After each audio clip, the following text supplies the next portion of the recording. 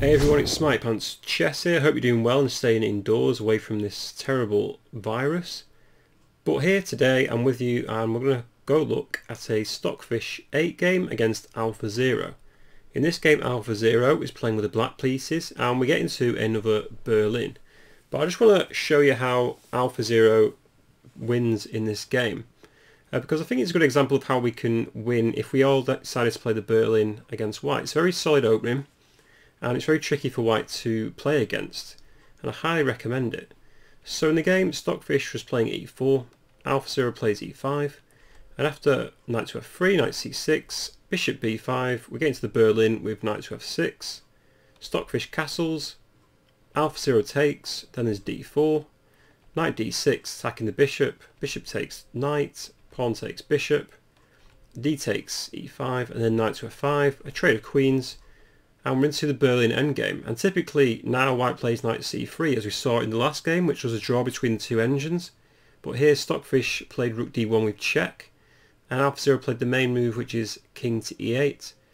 And after knight c3, now here typically AlphaZero goes in for this line with bishop to e7 which we saw in the last game. And for instance after knight to e4, black's idea is to try and trade this knight off on f3. Takes takes, bishop e3, b6, the point is now black has got a very solid structure and has basically already equalised out of the opening. And this is why most people play the Berlin, just to equalise out the opening and stop white gaining any advantage. So you can definitely do this too. And this is why top grandmasters play this opening and why Kramnik stopped Kasparov in that famous World Championship match. So here though, Alpha actually played differently. They played knight to e7 To reroute their knight to g6, maybe hit this e5 pawn with some interesting play. White played knight to d4, and now knight g6, hitting this pawn, and now h3. This looks like a trap for white, but actually black can easily capture this pawn if they wish. Knight takes e5. If Stockfish played rook e1, we can play f6. And if white decides to play the move f4, thinking they're going to win a piece, black has the tactics in their favour with bishop c5, pinning that knight on d4. And now white doesn't really win any material because even if, let's say, f takes e5, bishop takes d4 comes with check, so we can't play this. If the king moves off the diagonal, king h1, bishop takes d4, just wins a piece, or a pawn for black anyway, because then white will take, and then bishop takes. And even after bishop f4, black's pretty much equalised in this opening. So after f4, bishop c5 as well, Bishop e3 doesn't work either because then just comes knight to c4 with good play for whites and there's nothing really that white can do to get an edge here even if like bishop f2 with a discovered check the king just hides on f7 and black's absolutely fine here. After f4 bishop c5 uh, rook d e4 looks quite interesting as well but then just comes bishop f5 and this knight is still pinned and this bishop now attacks the rook and again white gains no advantage. So after f6, bishop f4 can be played instead. But then it just comes bishop d6, takes takes, knight to f3, bishop f5, white wins the pawn back and the king goes to f8. However the point now is that black actually has the two bishops which could be very important in the endgame. And you have to say black has definitely equalised out the opening. Okay, after h3 though, AlphaZero didn't take the pawn off. He played bishop d7 instead, developing a piece. f4 supports the e5 pawn, AlphaZero now plays h5. An important move stops white from playing g4 ideas. Stockfish develops with bishop to e3. Knight h4. And interestingly here, black's actually moved the knight quite a lot now. Uh, it moved from f5 to e7 to g6 to h4, when it could have gone from f5 to h4 straight away.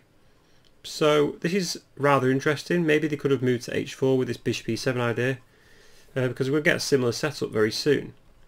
So rook d2 by Stockfish knight to f5. So basically the knight's just gone all the way back, attacking that bishop.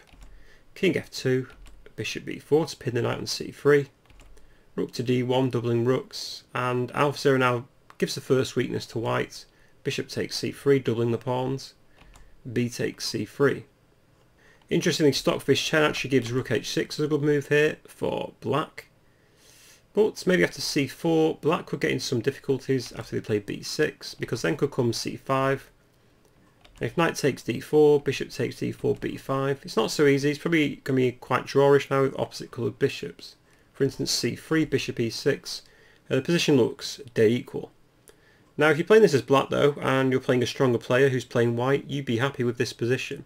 So certainly the Berlin is for you if you want to try and defeat higher rated opponents when you're playing black.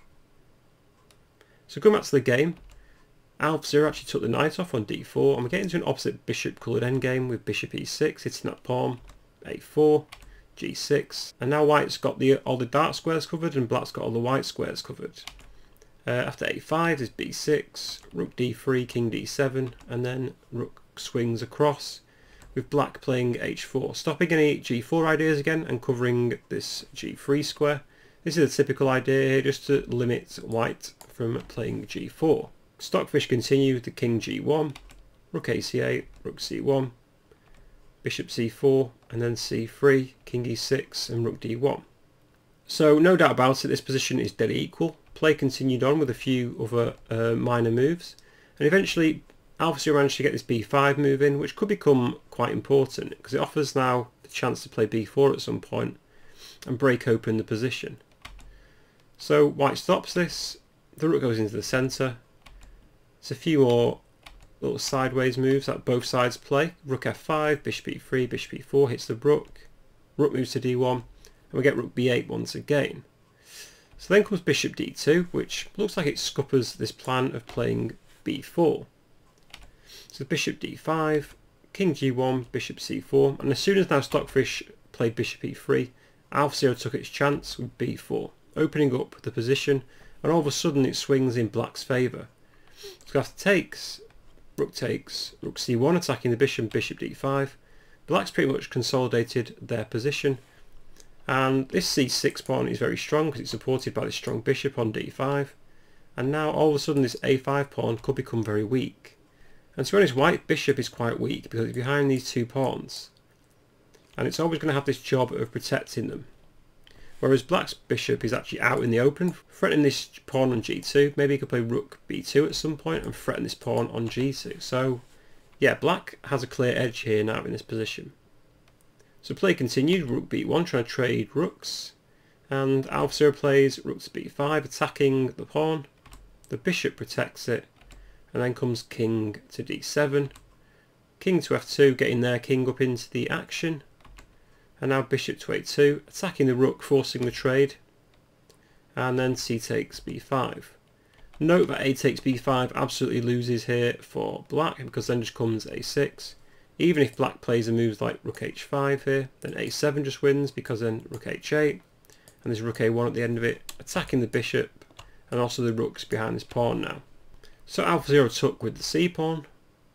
Rook g1 was played. Bishop d5 and then king to e3 and rook h5.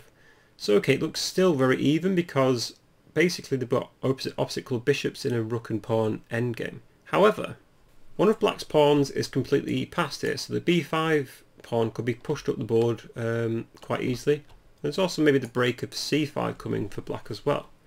So certainly there is chances here, and as we'll see, play continued on, bishop b4, rook h8, king f2 and then rook g8, and basically black just starts getting the king up into a better position. So AlphaZero solidifies with c6, bishop d6, rook c8, king d2, rook e8, um, and white plays g4 with check, uh, there's a trade, and then king takes f4 can be played.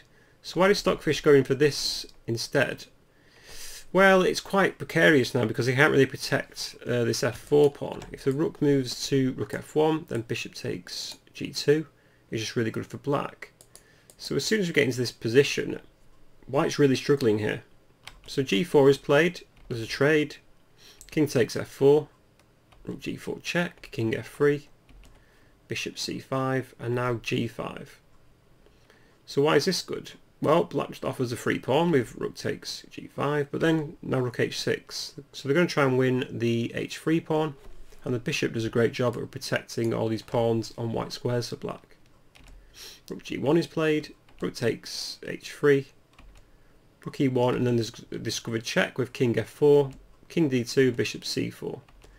And again, after a few moves by black and white, eventually Black starts moving up the board with the king. King f4 comes, rook d1, and now bishop d5 again. Check, king to d2, and then rook to f3. So now black's got good control of this third rank. Stop cutting the king off for white, and now black may be able to infiltrate with king to e4 at some point. Rook e1 is played to stop this. Bishop e6 again, king c2. And basically this is a typical computer endgame. So both sides are just feeling each other out for ages. You never see a human game like this. But uh, these are supposedly precise variations. And now AlphaZero sets up another discovered attack, king goes to d2. But finally, after some triangulation and coordination, AlphaZero gets his king e4 in. Bishop c5, and now the point is after bishop e6, rook e1 check, the king can hide on d5.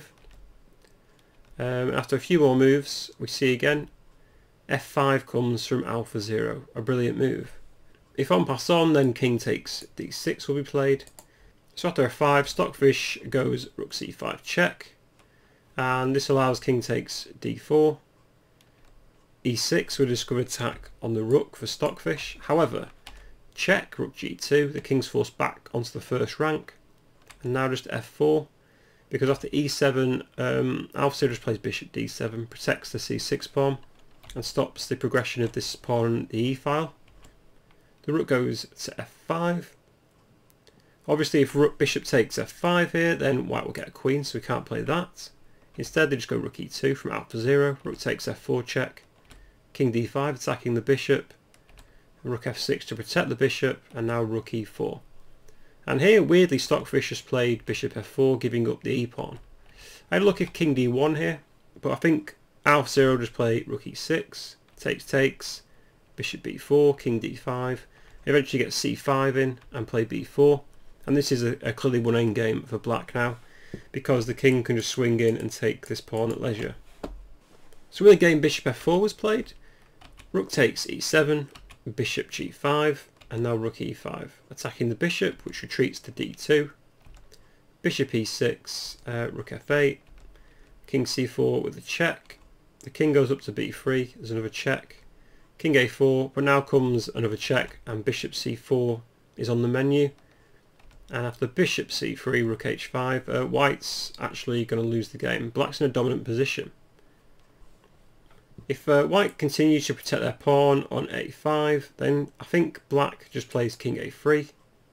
And if bishop c3 again, we can play rook d5. Let's say, let's say white keeps on doing this, then eventually just c5 comes, followed by b4 perhaps. For instance, bishop c3 again.